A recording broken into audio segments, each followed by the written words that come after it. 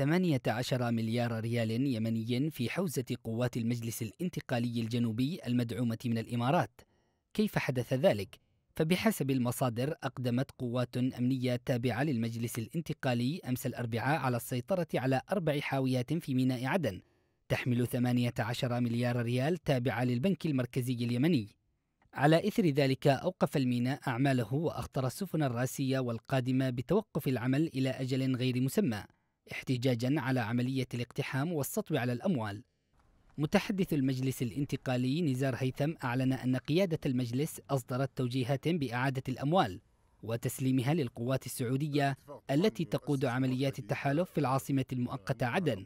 وأضاف أن رئيس ما يسمى بالمجلس الانتقالي عيدروس الزبيدي وجه بتسليم الأموال إلى القوات السعودية تجنبا لتسليمها للحكومة الشرعية التي وصفها بأنها مجموعة الفساد. لكن حتى الآن لا يوجد مصدر أعلن تسلم هذا المبلغ المالي لا الحكومة الشرعية ولا السعودية التي استطاعت الضغط على الرئيس هادي لتوقيع اتفاق الرياض لكنها عجزت عن ممارسة أي ضغوط على المجلس الانتقالي الذي ما زالت قواته متمركزة في أماكنها بعدن وتمارس نفوذها الكامل.